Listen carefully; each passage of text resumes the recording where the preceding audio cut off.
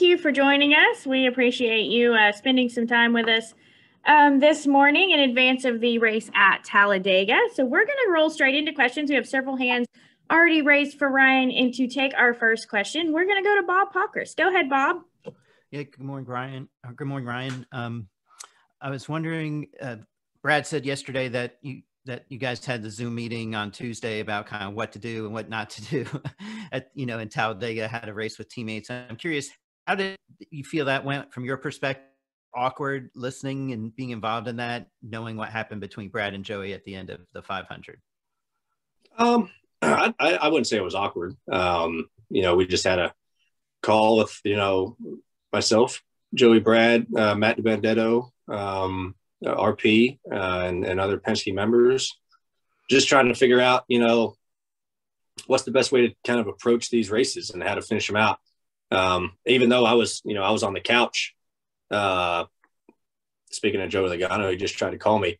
But uh, you know, being being on the couch watching the end of that race because we wrecked so early, um, you, you, know, you're still a part of it, and, and, you still hopefully find yourself in a situation at the end of the race to where yourself or your teammate has a Joe Logano needs to stop calling me, man. And uh, you know, I uh, it's something that um, we talked about just just trying to find the best way that we if we are in a spot where we're, one two coming to the end of this thing how do we go about that? You know how do we go about to make sure and do our best that we finish one two you know no matter who wins? Um, so i feel like we had a really good discussion uh, between all of us and hopefully we have a, a good plan and, and hopefully we find ourselves in that spot again to where we have teammates lined up at the end of this thing and we're leading to, to try to work together and, and win the race that's the ultimate goal and um, obviously the not the goal, you know, is what happened at Daytona. And that was just, you know, two guys racing hard, but you want to avoid that um, because, you know, it's not good for, for the whole team. But uh, it's, it's hard to put yourself in that mindset, you know, when you're out there competitive uh, or competing in the heat of the battle. Uh, you know, everyone wants to win. So um, those things are tough, but I thought we had a really good discussion. And uh, hopefully we can apply the things that we talked about and, and try to, you know, finish one, two, three, four, or one, two, or whatever it is just try to get you know Penske car in victory lane. Thank you. Well. Okay, we're gonna take our next question. Dustin Long, go ahead, Dustin. Thank you, uh, Ryan. And, and along those lines, um, you know, when you won at Talladega in June, um, you know, coming to the line, you had the contact with the 20. You said afterwards you wanted to get close. You, you'd made the big block going way down from the top line to the bottom line to block, and then you came up and and and and so you wanted to kind of keep close but made contact. He wrecked. Uh, you win. Um, if the 20 is a teammate, do you feel like after this discussion that you can race that way? Or look, you can race a teammate that way because that's how you race the rest of the field and want to race uh, in June at this track? Yeah, that's a good question. And uh, I feel like you kind of set me up for something, but I think uh, you know it's it's hard to you know predict that stuff. Um, you know, so I don't know. You know, until you're in that situation, you don't really know what you're going to do or, or, what the circumstances are. Um, and yeah, you know, the deal with me in the 20 last year, you know, yeah, we made we made contact come to the line and just kind of trying to side draft and, and, making contact and just a wild end of that race. So I, I don't know. You know, I don't know if if that is the two car. You know, I don't know what I do as far as you're trying to just block any lane that you can, and um, you know that that's a tough that's a tough one. So until we're in that situation and it happens, I'm not sure how to answer that. But uh, you try to at least hope that one of us win, right? No matter whether it's me or uh, you know, the figurative two car that or 22 or whatever, you know, you try to make sure one of us wins. So yeah, you're going to race teammates better than you race, you know, other people, especially coming to the line, just as far as giving giving them room and things like that. But that's a tough one to, to answer. Would I do the same thing just because uh, that wasn't the situation? Also, in that race, uh, you were certainly helped by the 47 and the 13 uh, latter part of the race and kind of giving you a run up there. Um, and I know the 47, I think throughout was a pretty good pusher. Uh, you had talked after the race that, you know, because of the pit strategies, you and your teammates really couldn't find each other. In that situation, you know, obviously manufacturer uh, teammates are important. were you ever concerned that the 4713 were going were would try to do things to dump you out and was that led to maybe some of the early moves you made to kind of get away from them and make your move to be able to put yourself in position to win yeah um yeah like you said the way the pitch strategies kind of lined up and and turned out you know i the 22 or two where they weren't around you know they were kind of further in the pack and um you know, I'm like, dang, I don't, and there's not really a lot of Fords behind me. I don't know how I'm going to win this race, but, and yeah, that, that thought did go through my head. Like, well, they might just shuck me out, you know, and, and sometimes you have no control if they shuck you out or not. Uh, but, you know, fortunate that it was the end of that race and, you know, the 47 was really fast all day and uh, we were able to get a run off two and he was able to shove me to the lead. Um, so at the end, it's, it's, and it's tough. It's kind of, go with who you can. You know, in some in some situations, it's it's go with who's got to run. As long as you don't dump your teammate. You know, if if I dump, you know, not dumb wreck, but like leave your teammate for for the the lane that's coming, that's you know not going to go over as well. Um, but in that spot, we just coming down the end of the race and and you had to take the run that was given to you. But you never know what the person behind you going to do if they're going to bail on you um, or what. And that's just kind of you're you're putting faith in that person behind you to continue to be on your bumper and push you ahead. But um, it's it's so tough sitting here and, and trying to predict the end of these races. You kind of just you try to do the best you can at making decisions in the moment. And um, you know that's that just decision was made when I felt like they had a run. I'm like I got to go or less or else he's gonna the 47 is gonna lead the train and, and pass all of us. Um, so those decisions you make in the moment and um, it's just it's just one that worked out. Thank you, Ryan. Welcome. Okay, our next question is going to come from Michelle Martinelli. Go ahead, Michelle. Hi, Ryan. Um, this week, you you tweeted about justice for George Floyd the other day after the verdict became known. Um, I was just wondering why it was so important to you to say something and voice your reaction publicly like that because I think it was the right thing to do. Um, you know, I usually don't. I'm not a big social media person, um, you know, but that verdict, what happened last year, was wrong. Um, you know, I, I was wrong that uh, George Floyd got, you know, what happened to him happened. Um, and he, I feel like I looked at it as that he should not have passed away and the way that was handled was, um, you know, in my mind, not handled the best way um, in the situation.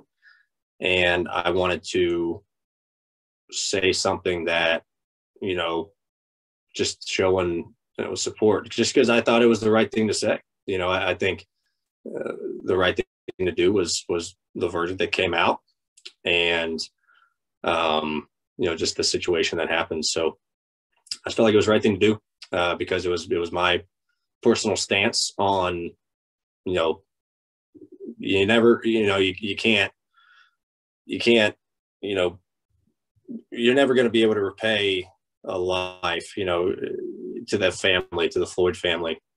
Um, but the best thing you can do is have someone who is held accountable for their actions, like that officer was, and that was just uh, what I wanted to say. Thank you.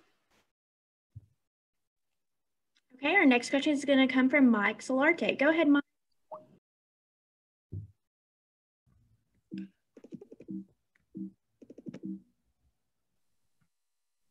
Sorry about that. Got a little oh, go ahead. technical issue on my end. It's an operator error.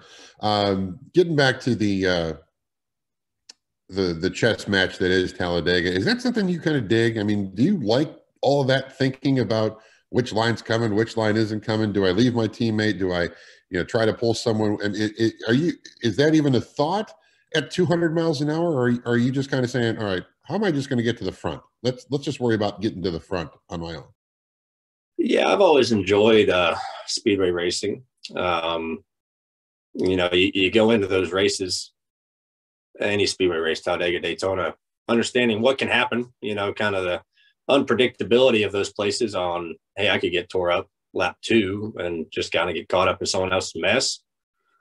Um, but I, I, like the racing. It's just a different kind of racing. You know, it's it's uh, like you said, a kind of a chess match sort of deal of what lane you think is coming at the right time and you jumping in it and um, trying to work lanes and things like that. It's, it's a, it's a neat style of racing. So, um, you love it when you win there and run good and survive it. You hate the place when you get wrecked. So, um, you know, you kind of can get mixed feelings every time you go back, but um, I, I, enjoy it. Um, and it's been, you know, it's been good to us a couple years, um, being able to, to squeak one out there, but, or a couple out there. Um, but yeah, I, I, enjoy it. It's, it's a lot of teamwork, you know, it's, it's a lot of teamwork between your spotter and the driver and, and your teammates and, and, you know, Fords. It's a, it's a lot of teamwork. So uh, I like that side of it, uh, that the communication really has to be uh, the best that it can be um, and working with Josh Williams, my spotter, he's he's done a great job, and we've done a good job of getting better every year of of uh, of him watching the race and kind of telling me a lot of information on what to do. I usually don't like a lot of you know talking on the radio or information besides the speedways because you know you just need that constant info. Um, so I, I, like that side that everyone's really involved and uh, it takes a lot of a lot of teamwork, communication to to run well there. But sometimes you can get all thrown out the window with getting wrecked. But uh, you just understand that when you go there. okay, our next question is going to come from Alex Andrea. Go ahead, Alex. Hey Ryan, I'm, uh, I'm hoping now that we're about 10 races in that you can just, kind of provide an update on where you feel like the 12 team is at right now and then kind of Penske as a whole as it compares to the competition. Yeah, um, you know, I think it's been a pretty good start to our year uh, you know, kind of take away the first three races were kind of unfortunate for us. Um, but other than that, I feel like we've we've made a really really strong showing, um, and and getting a win early in the year is obviously nice. Um, so I think the 12 groups in a really good spot right now. Uh, you know, there's there's some things we got to clean up. At some places, you know, like the Martinsville deal. Now it's nice having a good run there and winning a couple stages, but but uh, the the deal that happened at the end of the race, the final pit stop, you're like, oh my gosh, it's you know, it's just things we got to clean up. So uh, and that comes with time. You know, as, as we get going, you figure out the places you can improve at, and uh, you, you, sit down and figure that out. But uh, so I think the 12 group's doing really good right now. I think Penske as a whole is is running strong. Um, you know, I'm you know we're fifth in the stands. I think I think Joey's second or third. I think he's I don't know where he's second or third, and um, you know, so, so I think we're strong. Um, and, and the two cars been running good too, and and they'll get a win here soon. And the 21's been you know starting to to click off good finishes, they kind of had bad luck. So I think as a as a group, uh, we're getting close to where we need to be. Uh, there's a couple teams that are really fast. You know, Hendrick, Gibbs are, are, really fast right now, so we have to you know keep working hard to stay with those guys. And and Stewart Haas will get it figured out here, and they'll be strong once again. So uh, you always got to stay on top of your game. You can never really be satisfied of where you're at um, because you know no other team is satisfied where they're at. They're always working, so you have to be in that same mindset. But right now, I think it's going really well. You just got to keep it up and keep finding ways to improve. Does, does it feel like there's one team or organization that's kind of emerged as the favorite, or is it all pretty even right now still? Um, you know, I think Hendrick's been really good this year, you know, and they've shown that with, you know, three of their cars getting win. Um, you know, the five cars been fast with 48 winning this weekend or last weekend at Richmond. Um, you know, they've been super strong out of the box and you know the nine car is going to be good here uh, very shortly. So uh, they're them to me, they've been really strong. Um, and Gibbs, you know, it's, it's hard to say, but uh, I think those two teams have been been really strong, and I think we've been right there with them. Um, but I don't think you can have like a, a tippy top top dog team right now. I think it's between the three of us, and um, it's just a matter of who hits it right on any given weekend. Thank you. Okay, our next question is going to come from John Newby. Go ahead. Thank you. So, my question is what is it about Talladega and speedways in general that fits so well with your skill set, considering that you have a history of success there multiple wins? Is it that constant string of communication you mentioned earlier, or is there a different factor in play? Uh, that's part of it. Um, you know, communication between spotter drivers really good. Um, bringing fast cars is obviously a huge help.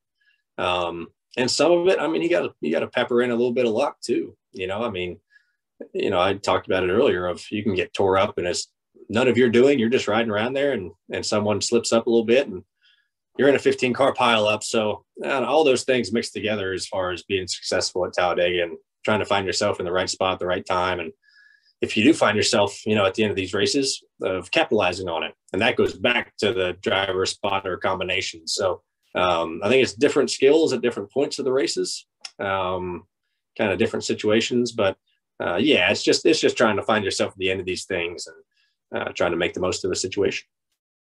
Perfect. Thank you. yep. Okay. Our next question will come from Woody Kane. Go ahead, Woody. Hey, Ryan, appreciate your time. I uh, wanted to get you to look ahead a week for us at Kansas. You've had six top tens there, but it's coming up on 10 years since the track was repaved. And I'm wondering if you've noticed a change in the way it races over the time you've been in Cup. Yeah. Um, you know, I, I, never got to race it uh, before it got repaved. Uh, um, but I, I, feel like it's aged pretty good. You know, I mean, um, we were able to run all over that racetrack. Uh, the only thing that I would probably say is I wish it was a little bit rougher, you know, as far as bumps and things like that. Um, but you know, you can't complain about too much. It's it's probably aged the best out of any track that has been paved in the last 10 years. You know, I'd say that because, you know, you look at like a Michigan, um, like a Phoenix, things like that. Uh, before they they added the the VHT there, it was hard to move around. So um, to be able to have a track like that run all the way at the wall, on the bottom, in the middle, that, that's pretty good. So I think it's aged very nicely. Um, I don't know what's different with the pavement that they use there compared to other repaves that has made it like that.